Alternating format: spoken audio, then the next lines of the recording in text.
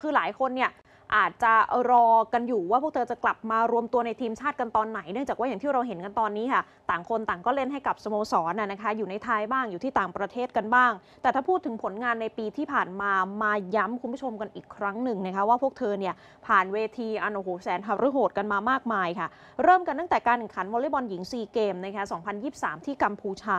ตอนนั้นเนี่ยก็กว่าจะเอาชนะได้ในแมตช์ชิงนะคะ แต่ว่าท้ายที่สุดเนี่ยก็สามารถเอาชนะไปนะคะแล้วก็คว้าแชมป์เป็นสมัยที่ 14 นะคะ ซึ่งเป็นการคว้าแชมป์สมัยที่ 14 ติดต่อกันของทีมวอลเลย์บอลหญิง แล้วก็ถือเป็นแชมป์สมัยที่ 16 ในซีเกมส์ตอนนั้น พอหลังจากจบออที่ซีเกมที่กัมพูชาค่ะ พวกเธอก็มาต่อกันที่ Nations League นะคะสามสนามด้วยกัน แล้วก็อย่างที่เราเห็นกันว่าสนามที่ประเทศไทยเนี่ย ซึ่ง มันเป็นสนามที่ทุกคนเฝ้ารอคอยหลังจากที่ไปเห็นพวกเธอทำผลงานใน 2 สนามแรกมาทั้งที่ตุรกี แล้วก็ที่บราซิลนะคะ มันเลยยิ่งทำให้โหพอทุกคนเห็นว่าทีมวอลเลย์บอลสาวไทยสู้สุดใจขนาดนั้นสนาม 3 ที่ไทยเป็นเจ้าภาพค่ะ ที่ไทยเจอกับเนเธอร์แลนด์ ตุรกีญี่ปุ่น แล้วก็บราซิล สร้างปรากฏการณ์ทั้งหมดนะคะเพราะว่าบัตรขายหมดในทุกๆเกมภายใน 24 ชั่วโมง แล้วก็กลายเป็นข่าวโด่งดังไปทั่วโลกนะคะว่าโอ้โหประเทศไทยเนี่ยมีผู้คนที่คลั่งไคล้ในกีฬาวอลเลย์บอลมากมายขนาดนี้นะคะซึ่งผลงานของพวกเธอในรายการนี้ค่ะ ก็จบด้วยการคว้าอันดับที่ 14 หลังจากที่แข่งขันมาทั้งหมด 3 สนาม หลังจากจบวอลเลย์บอลเนชั่นส์ลีกนะคะก็ต่อเนื่องกันเลย พวกเธอก็ลงกรำศึกอีกในเดือนสิงหาคมในการแข่งขันซีวีลีกนะคะ ซึ่งซีวิลีกเนี่ยจัด ขึ้นเป็นครั้งที่3นะคะเล็กแรกเนี่ยแข่งที่เวียดนาม ทีมลูกยางสาวไทยเก็บชัยชนะ 3 นัดติดต่อกัน แล้วก็คว้าแชมป์ในเล็กแรกไปนะคะจากนั้นก็กลับมาลุยเล็กที่2นะคะที่เชียงใหม่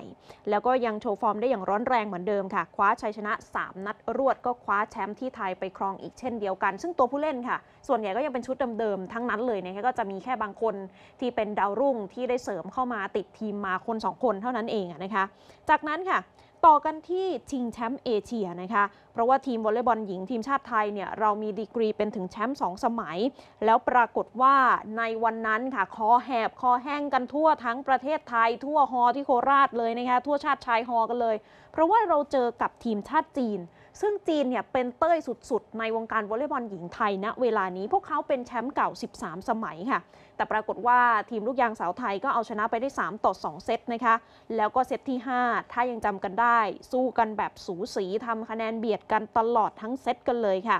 ซึ่งแน่นอนค่ะว่าในการคว้าแชมป์ครั้งนั้นที่จังหวัดนครราชสีมา เป็นการคว้าแชมป์เอเชียสมัยที่3นะคะของพวกเธอ ต่อจากปี 2009 แล้วก็ 2013 ซึ่งก็เป็นระยะเวลา 10 ปีพอดีที่เราห่างหายจากการเป็นแชมป์เอเชียไป แล้วก็ 10 ปีที่แล้วเนี่ยที่เราบอกกันไปนะคะนั่นก็คือการคว้าแชมป์ที่นครราชสีมานั่นแหละ มันก็เหมือนเป็นเดจาวูเป็นภาพที่หวนกลับมาอีกครั้งหนึ่ง สร้างความภาคภูมิใจให้กับแฟนๆชาวไทยนั่นเองนะคะซึ่งจบรายการนี้ค่ะ ทีมลูกยางสาวไทยก็ได้โควต้าผ่านเข้าไปเล่นในศึกวอลเลย์บอลชิงแชมป์โลก 2024 นะคะในฐานะแชมป์ของรายการชิงแชมป์เอเชีย รวมไปถึงทีมชาติจีนรองแชมป์แล้วก็ทีมชาติญี่ปุ่นอันดับ 3 ของรายการด้วยนะคะแต่พอจบ หลังจากคว้าแชมป์เอเชียเพียงไม่กี่วันค่ะ ทีมสาวไทยก็ออกเดินทางกันต่อเลยนะคะไปแข่งขันในศึกคัดโอลิมปิกที่ประเทศโปแลนด์ ซึ่งรายการนั้นมีนุศราต้อมคำนะคะที่กลับมาช่วยชาติอีกครั้งหนึ่งนะคะในวันนั้นเนี่ยไทยอยู่ในกลุ่ม C ร่วมกับโปแลนด์เจ้าภาพโคลอมเบียเยอรมนีอิตาลีสโลวีเนียเกาหลีใต้ แล้วก็สหรัฐอเมริกา ซึ่ง มีเงื่อนไขอยู่อย่างเดียวเลยค่ะ ว่าพวกเธอต้องได้อันดับหนึ่งหรืออันดับ 2 ของกลุ่มเท่านั้น ถึงจะคว้าตั๋วไปโอลิมปิกเกมส์ที่ปารีสแต่ปรากฏว่างานมันก็หนักหนาสาหัสเหลือเกินอย่างที่เราเห็นกันค่ะ ทีมไทยทำผลงานแพ้ 3 ชนะ 4 จบอันดับทีสี่ 4 ของกลุ่มนะคะ ยังไม่ได้ตั๋วจากรอบนี้ก็ยังต้องลุ้นกันต่อไปในปีนี้เนี่ยแหละค่ะ แต่พอจบในการแข่งขันคัดตั๋วไปโอลิมปิกนะคะในศึกชิงแชมป์โลกที่ผ่านมาเนี่ยคุณผู้ชม พวกเธอก็ลงสนามกันอย่างต่อเนื่องค่ะ พักแค่วันเดียวนะคะ เดินทางไปเอเชียนเกมส์กันต่อนะคะ ไปแข่งขันเอเชียนเกมแล้วก็สามารถคว้าเหรียญทองแดงมาฝากแฟนๆชาวไทยได้นะคะ ซึ่งนี่เป็นการคว้าเหรียญรางวัลได้ 3 สมัยติดต่อกัน นับตั้งแต่ที่พวกเธอคว้าเหรียญทองแดงในเอเชียนเกมปี 2014 แล้วก็เหรียญเงินเอเชียนเกมปี